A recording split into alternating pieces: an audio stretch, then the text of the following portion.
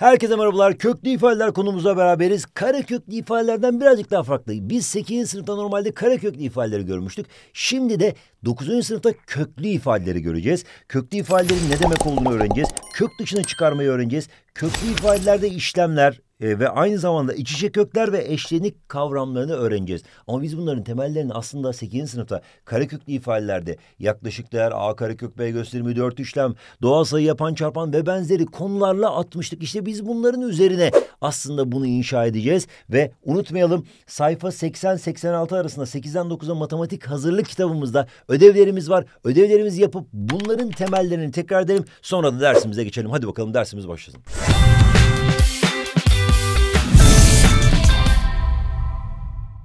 Tam 9. sınıfta ne göreceğimizi öğrenemeden önce bizim kareköklü ifadelerde bildiklerimizi hatırlamamız gerekiyor. Mesela tam kare sayılar vardı. Çarpma bölme vardı kareköklü ifadelerde ve toplama çıkarma vardı. Bir kere hemen şunları hatırlayalım. Tonguç'um tam kare sayılar deyince aklına ne geliyor? Hemen söyler misin bana? Yani mesela 2'nin karesi 4'tür. Harika. Tam kare sayılar 2'nin karesi 4'tür. E, tam kare sayılar dediğim şeyler şunlar aslında bak. 1, 1'in karesi.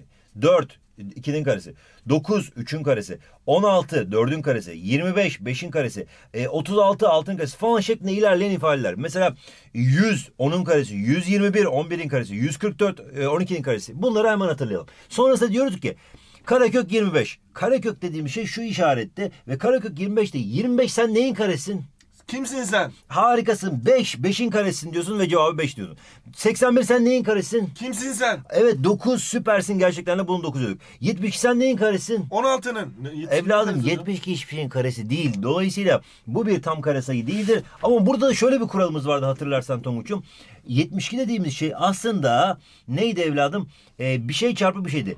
Ee, mesela 36 çarpı 2 idi değil mi Tonguç'um? Yani. 36 çarpı 2 olduğu için 36 sen neyin karesin? Kimsin sen? 6'nın karesin. O zaman 6 sen dışarıya alalım seni kusura bakma arkadaşım diyoruz. Ve içeride zavallı kalan 2 ile beraber yan yana yazılıyor. Sizi buna içeri da, alamayız çıkın dışarı. Buna da A kök B gösterim diyorduk. Bunları da hemen hatırlayalım. Çarpma bölme inanılmaz zaten basit bir kula, kuralda Hocam, hemen basit ki zaten. Hayır mantık şöyle düşünelim. Şimdi şöyle bir sayıyla şöyle bir sayıyı çarparken sayıyı kategorize etmemiz gerekiyor. Bu şu demek. Sayının bak köklü kısmı burası Tonguç'um. Köklü kısmı burası. Buralarda normal kısımları. Normal kısımları kendi arasına çarpıyorsun. 5 kere 2 10 diyorsun köklü kısımları da kendi arasına çarpıyorsun. Üç kere iki kaç eder evladım? Tebrik ediyorum seni gerçekten de. Güzel bir soru. Öncelikle evet, soru bayağı zor bir sizlere. soruydu altı. gerçekten. Altı harika ama köklü olduğu için kök altı diyoruz. On kök altı şeklinde yazabiliyoruz. Kök on bölü kök 2'de de aynı mantığı yapıyoruz aslında. Köklü sayıyı köklü sayıya bölüyorsun. Kök 10 bölü kök. 10 bölü 2 kaç eder evladım sence? 5. Bravo diyorum o zaman. Karekök içinde 5 yazmam gerekiyor çünkü hepsi köklü. Bunları hızlı bir şekilde hatırladıktan sonra diyoruz ki köklü ifadelerde aslında sadece karekökler yok. O yüzden kare köklü ifadeler demiyorum dikkat etsen.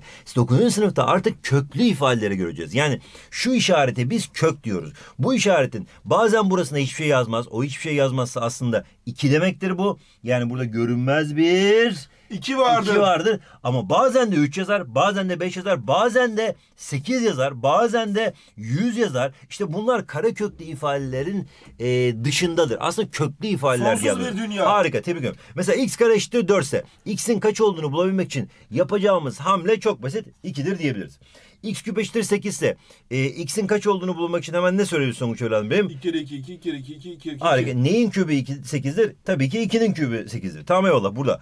Ama burada x kare eşittir 5 ise x nedir dersek ne diyorduk eskiden hatırlıyor musun? Kök 5. Kare kök 5 diyorduk süper.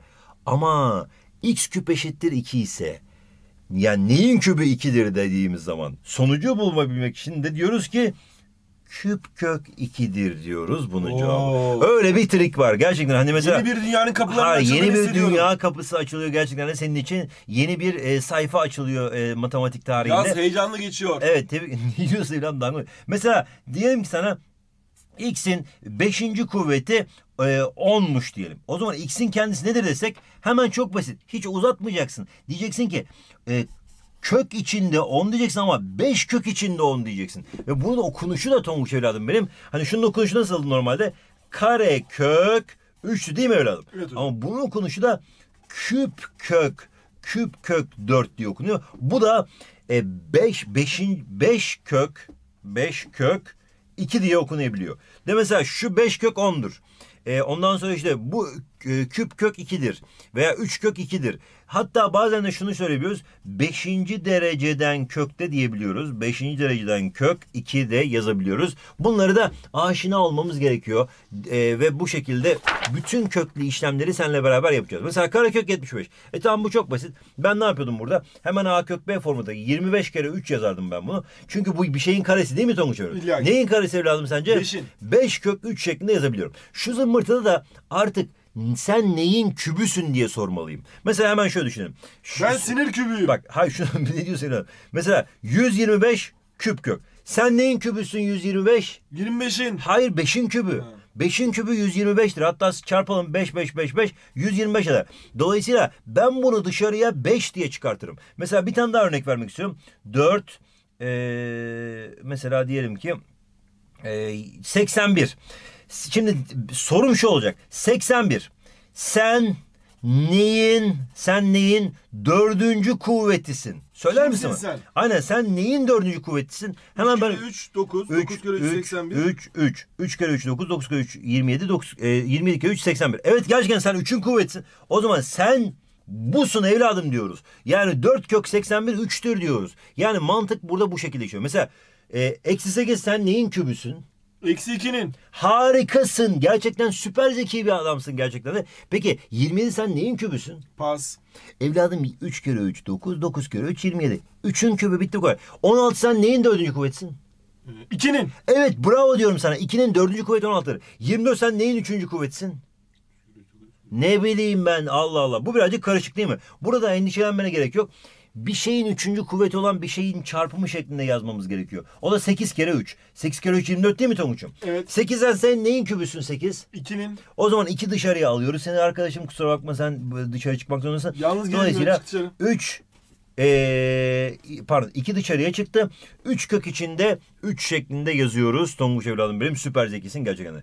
Peki şunu unutmayalım. Bak Tonguç'um çift dereceli kökün içine negatif sayı yazılamıyor. Mesela karekök içinde eksi bir sayı asla reel olamaz. Böyle bir tanım da yoktur diyoruz. Reel olmayan bir sayı diyoruz. Yani mesela ee, 4 kök içinde eksi 20 olabilir mi Tonguç evladım benim? Olamaz. Hayır bu reel sayılar elemanı dire- elemanı değildir reel sayılardır diyoruz. Bu reel sayıdır. Bunu da unutmayalım Tonguç'um. Geldik şöyle bir ifadeye. Şimdi mantık olarak şöyle düşünelim. Küp kök eksi 27. Eksi 27 sen neyin kübüsün? Eksi 3'ün. Harika. Eksi 3'ün üçüncü kuvveti aslında hatta çarpalım. Eksi 3, eksi 3, eksi 3. Eksi 3, eksi 3 artı 9, artı 9, eksi 3, eksi 27. Bak işte eksi 3'ün kübü. O zaman ben bunu eksi 3 diye çıkardım. Peki dikkat ettiysen 5 üzeri 3 yazıyor ya burada. Burada da 3 kök yazıyor. Ya evladım 5 üzeri 3 125 değil mi? 5, 5, 5, 5. 125. E 5 üzeri 3 sen neyin kübüsün? Zaten 5'in kübü gözüküyor yani. Bu kadar Yani. abartmaya gerek yok. 5 diye çıkartabiliriz ben bunu. Ama şurada şöyle bir enteresanlık var. Mantık olarak şunu düşünmemiz gerekiyor. Eğer buradaki e, köklü ifadeyle şu zımbırtı birbirine eşitse bunlar birbirini götürüyor ve A diye çıkıyor. Ama eğer bu n çift ise mutlak değer diye çıkıyor. Tek ise aynen çıkıyor. Mantığını bilmemiz gerekiyor. Yani normalde hani şunla şu birbirini götürürdü. E, bu çift mi tek mi? E tek. O zaman aynen çıkıyor. O zaman 5 diye fırladı bu dışarıya. Bu çift mi tek mi Tonguç? Bak burada normal görünmez bir ne vardı evladım? 1 vardır. İki Pardon, vardır. dangoz musun? Bununla bu birbirini götürür. Dolayısıyla eksi dört diye çıkar. Çıkar mı? Hayır. Çift ise mutlak değer eksi dört diye çıkması gerekiyor. İşte böyle bir trik var burada evladım. Bunları da yazdıktan sonra diyorum ki o zaman eksi üç, eksi üç, eksi, eksi. Bu aslında artık artı dörttür. Artı 5 şeklinde yazabiliyoruz ve cevabımız eksi 2 olduğunu çatanak diye söyleyebiliyoruz. Şunu unutma. Şöyle bir ifadelerde ise sadeleştirme kuralı kullanılabiliyor. Şöyle düşünebilirsin. Mesela 6 ile 3 ya. Bununla bu sadeleşir. Burada 2 kalır. O zaman bu aslında karekök 2'dir yazabiliriz. Mesela bu zımbırta burada görünmez bir 2 var ya. Bununla bu sadeleşir.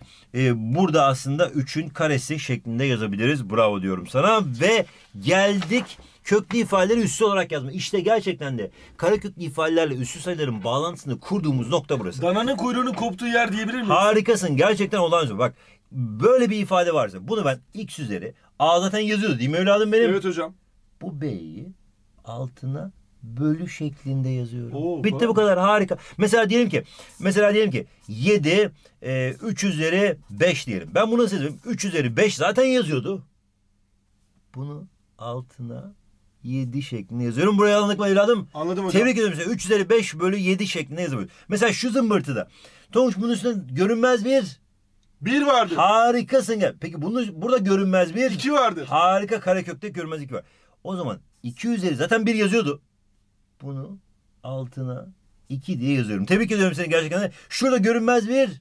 Bir vardır. Bravo diyorum sana. O zaman 4 üzeri. Orada da görünür bir üç var. O görünür bir 3 var o doğru. 4 üzeri 1 bölü 3 diye yazıyorum. Bitti bu kadar tebrik ederim. Şu ifadeyi ise kareköklü ifadeye çevirebilirim ben. Burada bak şu alttaki zımbırtı aslında kökün e, kuvveti demek aslında. Burada zaten 3 yazıyor. 3 üzeri 1, 3 de yazabilirim. Aynı şey fark etmez. Aynı şekilde şu zımbırtı aslında kökün e, derecesini gösteriyor. Bu 7 üzeri 3 var, varmış zaten burada. Bunun altına da bölü yazmışız diyoruz. Ve bunları da çok kullanacağız aslında çarpma bölmede falan filan. Mesela e, çarpma bölmeyi hemen seninle yapmaya çalışalım. Kökleri aynı derecedense aynı kareköklü ifadelerdeki gibi. Normal aynı derecenin içinde a çarpı b yazılır. Mesela şöyle bir ifadede. Ya Tonguç, Tonguç 2 kere 5 kaçtır Allah'ını seversen? On. Harika. 10 yazıyorum ama küp kök olduğu için küp kökü de yazmak zorundayım. Mesela 27 çarpı 3 kaçtır Tonguç evladım benim? 81. Harikasın. O, hesap makinesi mi yuttun evladım sen? 4 diyoruz tebrik ediyorum seni ama 4 derece. Peki 81 sen neyin dördüncü kuvvetsin? Kimsin sen? Söyler Kimsin? misin? 81 sen niye dördüncü Kimsin kuvvet? sen? Bilmiyorum hocam öyle diyorum 3 hocam. üzeri 4 81'dir dangoz evladım. O zaman 3 şeklinde fırlayabilir mi? Bildiğim zaman söylüyorum, bilmediğim zaman espri yapmaya çalışıyorum hocam. Bö- Böylece ders kaynatıyorum. Tebrik ediyorum seni. Bölmede de aynı mantık var. Aynı kökün içinde yazabiliyoruz. A bölü B şeklinde yazıyoruz. Mesela şöyle bir ifadede hop küp kök içinde 10 bölü 5 2'dir zaten şeklinde yazıyor. Bunu da hadi gel üst üste de çevirelim. 2 üzeri bunun üstüne görünmez bir var. 1 bölü 3 şeklinde yazabiliyorum. Mesela şunu üst üste de çevirelim. Bunun üstüne görünmez bir var. 10 üzeri 1 bu da bölü şeklinde 1 bölü 3 şeklinde yazabiliyoruz. Böyle işlemlerle de kendimizi birazcık daha ısındırmaya çalışacağız. Kök dereceleri farklı ise yöntemimizi bilmemiz gerekiyor. Kök dereceleri farklı ise ilk baştaki dereceleri birbirine eşitlememiz gerekiyor ki işlemleri yapabilelim. Mesela Tonguç Söyler misin bana? Buradaki buradaki derecesi kaçtır evladım bu zımbırtının? Harika çünkü bir karekök. Ama bunun derecesi 2 bunun derecesi. O zaman bunları çarpamayız. Ça- eşitleyebilmek içinse şöyle bir mantığımız var. Genişletme metodu var. Genişletme metodu şu aslında. Bunu bunun üstünde görünmez bir Bir vardır. Harika. Ben bunu bak bu ikisinin derecesini aynı yapabilmek için bunu 2 ile çarpmam. Bunu da 3 ile çarpmam gerekiyor. Bu şekilde ikisinin derecesi 6 olmaz mı? Evet. Ama bunu 3 ile çarptıysam bunun da üstünü 3 ile çarpmam. Bunu 2 ile çarpsam bunun da görünmez üstünü 2 ile çarpmam gerekiyor Tonguç'um ki eşitlensin. Bak hemen düzenliyorum. Bak bu 6 kök oldu. Hop. 2 üzeri 3 oldu ama. Çarpı diyorum. Bu da aynı mantıkta 6 kök oldu.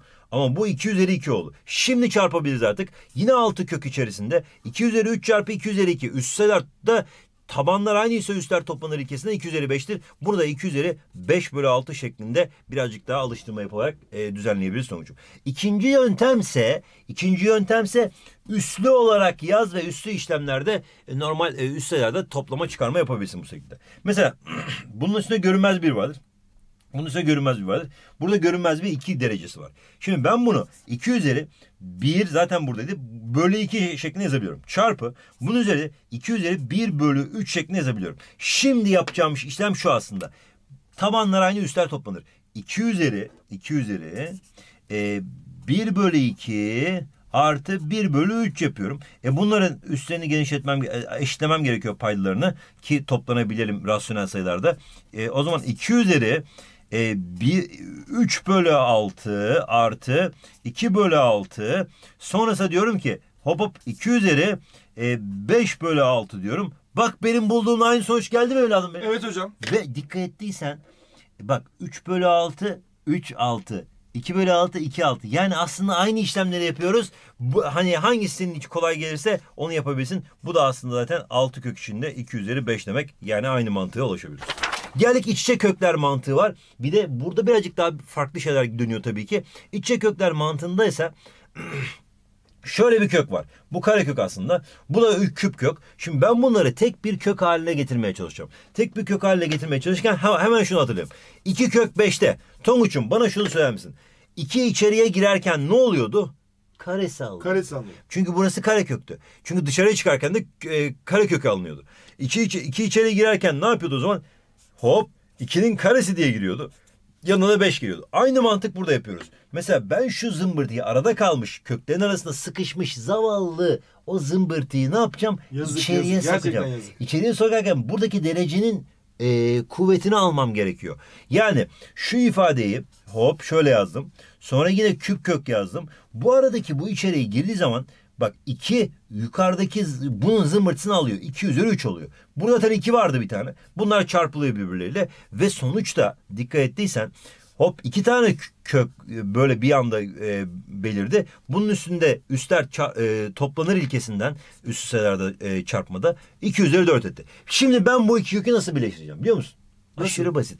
Bunun aslında görünmez bir 2 vardır. Harika. İşte bu ikisi çarpılıyor Tonguç'um. Aynı üstün üstü kuralındaki gibi.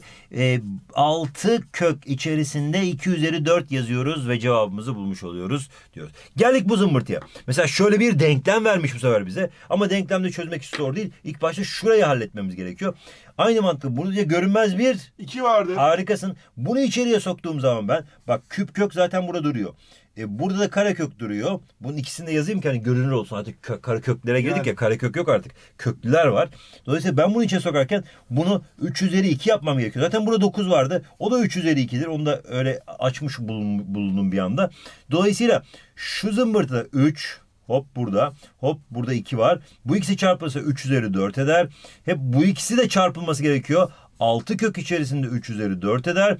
E bunu üstü sayı şeklinde yazabilirim Tonguç Evren benim. 3 üzeri 4 bölü 6 yazabilirim. Bu aslında neymiş? 3 üzeri 2x'miş. Dikkat ettin mi evladım benim? Evet. O zaman 4 bölü 6 eşittir 2x'ten. Ee, 4 bölü 6 eşittir 2x'ten ne yaparım? İçler dışlar çarpma yaparım. Çatarank çutarank. 4 eşittir 12x derim. Her iki tarafı 12'ye böldüğüm zaman Tonguç evladım benim hop x eşittir 1 bölü 3 şeklinde gerçekten astromatematiksel işlemler yapıyoruz seninle ve çok iyi bir şekilde anlıyorsun diyoruz ve toplama çıkarmayla devam ediyoruz. Toplama Heyecan çıkarmada devam ediyor. tebrik ederim. Toplama çıkarmada köklerin içi tonguçum ve kök dereceleri dereceleri eşit ise katsayıları topla çıkartıyoruz. Mesela bak eskiden öğrendiğim şeyleri hatırlayalım. 3 kök 5 artı kök 5. Hemen şunu söyleyeyim. Ne diyorduk buna? Buna bir armut diyorduk. Bu armutsa bu da bir armut değil mi Tonguç evladım Evet benim? hocam. Çünkü aynı kök 5 kök 5. Armut, O zaman armut. 3 armut 2 armut daha. 5 armut. Bravo gerçekten çok iyi matematiksel kapasiteye sahipsin. Manavlık Geldik- yaptım hocam yıllarca. Kök 125'i hemen hatırlayalım. Kök 125 dediğimiz şey aslında 25 çarpı 5'ti. E 25 dışarıya 5 de çıkar 5 kök 5. O zaman ben bunun yerine 5 kök 5 yazabilirim. E bu da bir armut Tonguç evladım benim dikkat ettin mi? Bu armutsa hemen söylesin. 3 armut, 2 armut daha 5 armut. 5 armut daha çıkartırsan ondan peki? Aç sıfır. kalırız. Aç kalırsın sıfır. İşte bu kadar. Mesela şöyle bir ifade. 6 tane şu zımbırtıya artık elma diyelim Tonguç evladım benim. E şu da bir elma değil mi Allah'ını seversen? Şimdi bu 6 tane elma.